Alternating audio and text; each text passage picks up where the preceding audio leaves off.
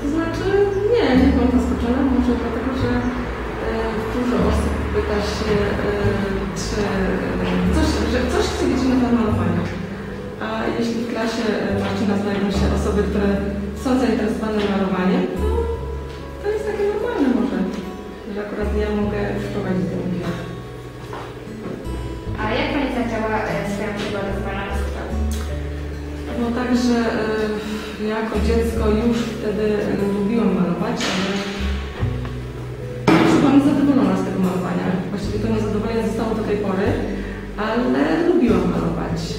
Zawsze e, interesowała mnie przeważnie przyroda i chciałam jak najwięcej wśród przyrody przebywać i malować różne trawki, kwiatuszki, zwierzątka, także to lubiłam od dzieciństwa robić.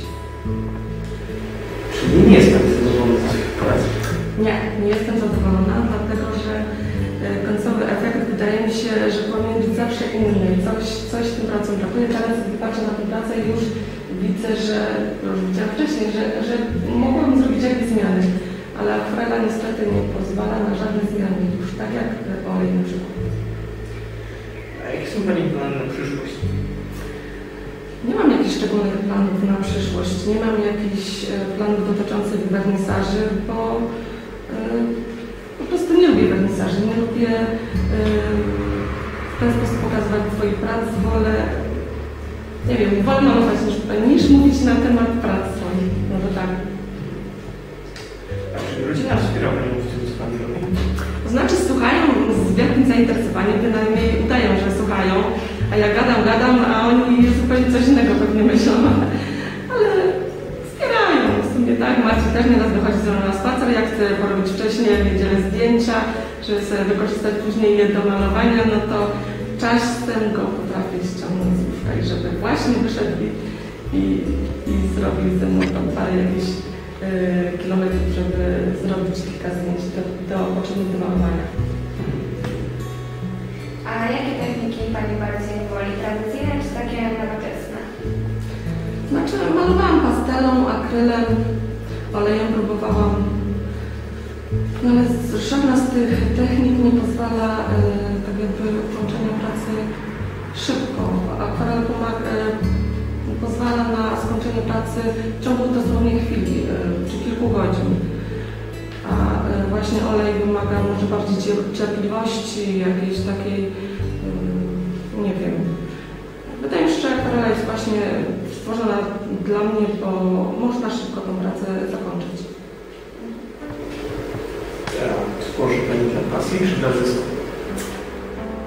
Ja bym chciała, żeby połączyć te dwie rzeczy, żeby to była i pasja i jeszcze jakieś e, zadowolenie finansowe, to znaczy, że były te pieniążki z tego, bo wiadomo, że e, takie, taka pasja kosztuje. Kosztuje papier, kosztują pędzle. Jak się chce, jakieś takie profesjonalne bardzo rzeczy, to te koszty są dosyć wysokie jeśli właśnie te prace jeszcze w jakiś sposób się sprzedadzą, e, to mogę sobie pozwolić na e, zakupienie takich właśnie rzeczy, które pozwalają jeszcze bardziej e, wydatnić na przykład kolor, bo są farby, które mm, są słabszej jakości i nie mają tej ostrości tego koloru. A właśnie im farby droższe, wiadomo, są lepsze. I też liczę, że nie tylko stracę te wszystkie pieniądze na farby, na malowanie, ale że jeszcze coś z tego zrobię. Także to jest też ważne, żeby mieć pasję i jeszcze y, jakiś zysk z tego to jest idealne. Czyli malowanie sprawia przyjemność. Sprawia przyjemność, bo gdyby nie sprawiało, to bym raczej nie malowała. Nie malowałabym tylko dlatego, że e, chcę zarobić jakieś pieniądze. Po prostu to jest przyjemność e, bycia z tą akwarelą tak na co dzień. Nawet czasem uważam, uważam do tej pory, że dzień bez akwareli jest tak jakby straconym dniem dla mnie, dlatego że no już nie da się tego dnia e, w jakiś sposób nadrobić, żeby, żeby malować dalej. Także bardzo lubię malować. A jakie uczucia towarzyszą Pani podczas malowania? Znaczy jak wszystko idzie po mojej myśli, to jestem zadowolona. Jeśli coś, coś nie wyjdzie, to wiadomo jest taki, taka złość, ale szybko przechodzi, bo to malowanie, tak jak mówiłam, sprawia przyjemność.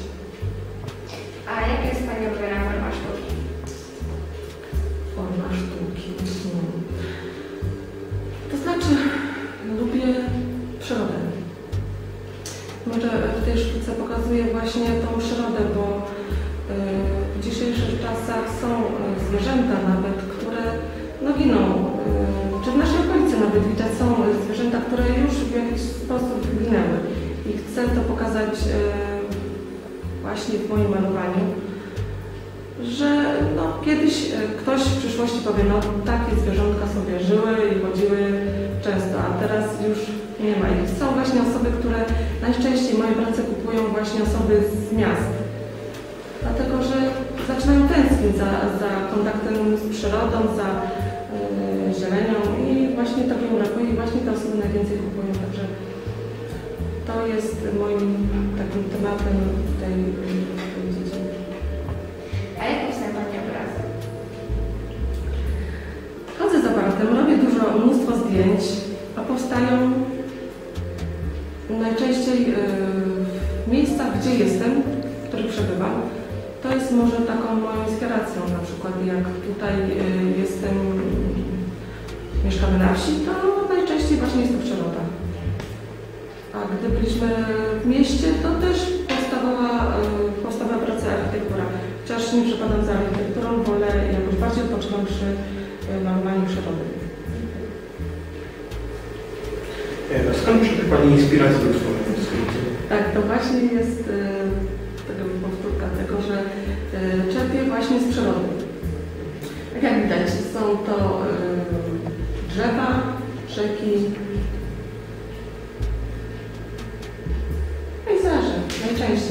A ile czasu zajmuje malowanie Pani obrazu? To zależy od wielkości obrazu, od y, to, y, co maluję na tym obrazie. Także są obrazy, które powstają w ciągu godziny,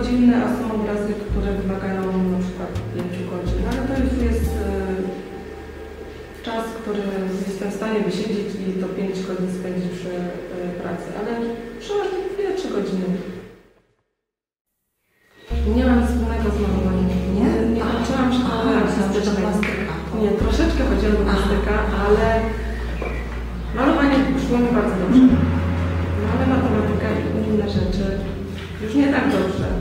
No, że z tych obrazów to mówią, że muzycy, że każdy muzyk jest dobrym matematykiem. Wydaje mi się, że plastyk też musi mieć takie po prostu jakieś oko dobre. No i zrezygnowałam, zrezygnowałam. Byłam zmuszona do rezygnacji właśnie z tej szkoły, mimo że właśnie y, te osoby, które dawały nam artystyczne, mówiły, żebym próbowała, żebym dążyła do tego jakoś, żeby skończyć tą szkołę, no ale no niestety nie, nie mogłam.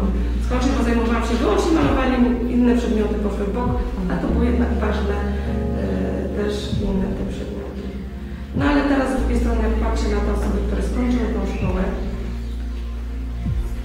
około 30 uczniów, może dwie osoby malują, a reszta zajmuje się czymś zupełnie innym,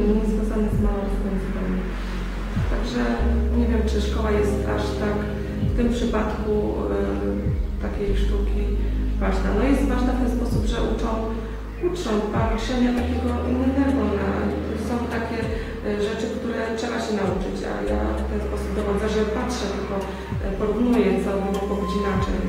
To jest taka nauka może bardziej patrzenia samemu, widzenia takiego lepszego przez malarstwo, nie maluje, po prostu nie zwraca uwagi na takie szczegóły.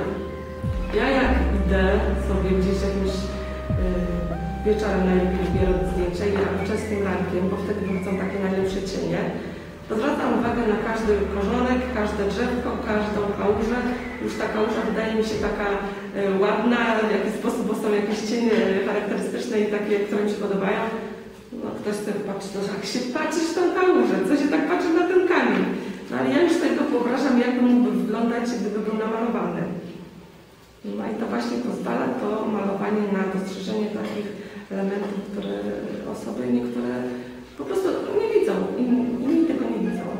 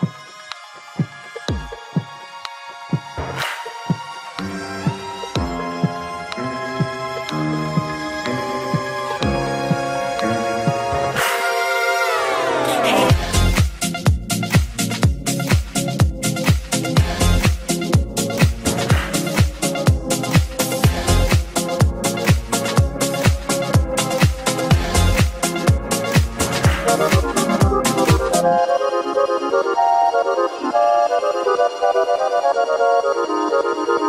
you.